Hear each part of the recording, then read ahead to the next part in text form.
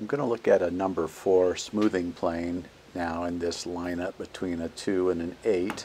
A number 4 is really the quintessential smoothing plane.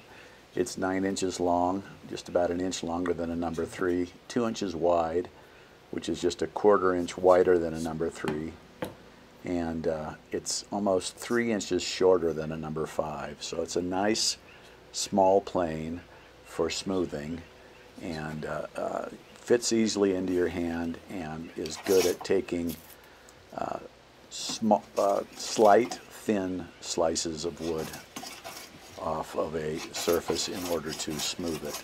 Here I am just using it on the edge of a piece of hard cherry and you can see it slices right through it with ease as long as it's sharp. Hope you've enjoyed this video. If so, please subscribe and thank you for watching.